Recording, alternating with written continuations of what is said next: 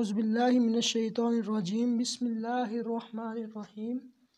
الصلاة والسلام علیکہ یا سیدی یا رسول اللہ، وعلا آلکہ و اصحابکہ یا سیدی یا حبیب اللہ۔ الصلاة والسلام علیکہ یا سیدی یا نبی اللہ، وعلا آلکہ و اصحابکہ یا سیدی یا نور اللہ۔ بندہ پروردگارم، امت احمد نبی، دوست دار چار یارم، تابع اولاد علی مذہب حنفیہ دارم ملت حضرت خلیل خاک پائے غوث اعظم زیر سایہ ہر ولی۔ غوث اعظم بمنے بے سر و سما مدد، قبلہ دین مدد، کعبہ و امام مدد۔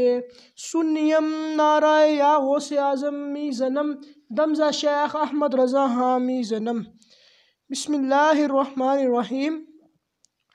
آج ہم حضور سیدنا غوث پاک رضی اللہ تعالیٰ عنہ کے مختصر حالات زندگی سنیں گے اور اللہ تعالیٰ سے یہ دعا کریں گے کہ اللہ تعالیٰ ہم سب کو حضور غوث پاک رضی اللہ تعالیٰ عنہ کی محبت عطا فرمائے۔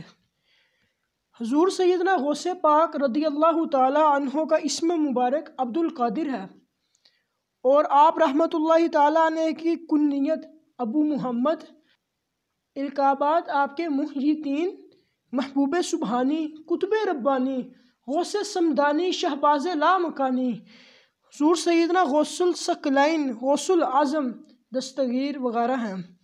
آپ رحمت اللہ تعالیٰ علیہ چار سو ستر ہجری میں بغداد شریف کے قریب قصبہ جیلان میں پیدا ہوئے اور پانچ سو اکسٹھ ہجری کو بغداد شریف میں ہی آپ نے وصال فرمایا۔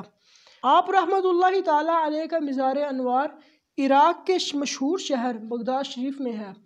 اللہ تعالیٰ سے دعا ہے۔ اللہ تعالیٰ ہم سب کو حضور سیدنا غوث پاک رضی اللہ تعالیٰ عنہ کی محبت عطا فرمائے۔ واخر الدعوایا ان الحمد للہ رب العالمین۔ السلام علیکم ورحمۃ اللہ